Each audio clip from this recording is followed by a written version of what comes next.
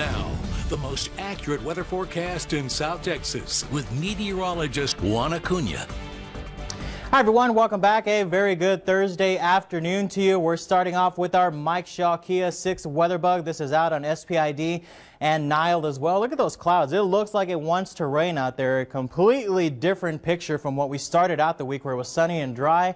And now we have lots of cloud coverage. Temperatures are holding on into the middle to upper 70s, but that's the key right there. Those winds, they continue to be out of the east southeast across the area and that is causing some minor tidal overflow occurring out near Bob Hall Pier, and that's why uh, we have some of those advisories, those coastal flood advisories in effect until later on this evening.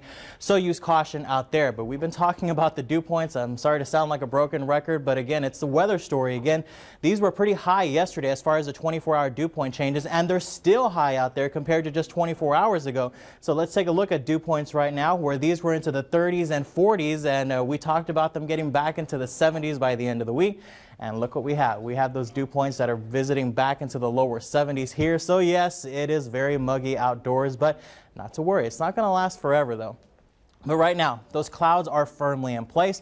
We have moisture coming in out of the west and we have moisture coming in off the Gulf of Mexico and it is leading to a few little stray showers across the area.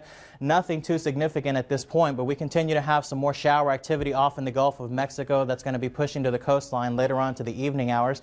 I know there's some football games going out, so you may want to throw the umbrella in there. This is not anything severe, but again, there could be a little downpour or so, maybe for about 15 or 20 minutes before it moves on or eventually dissipates. But there's a little disturbance out to the west of us uh, uh underneath the upper level low that's up to the northwest and the upper levels of the atmosphere, but tropical moisture continuing to seep right on in thanks to high pressure off into the Gulf of Mexico. That frontal boundary that was in the central plains yesterday has already pushed off past us. It's not headed in our direction, but there's our saving grace there. If you want the cooler weather, here's our next weather maker for us here. So let's go on and track that. Again, we have isolated showers in the Gulf. We have high pressure out to the west of us. And then there's this frontal boundary as it continues to push down to the south over the next couple of days on Friday and on into Saturday.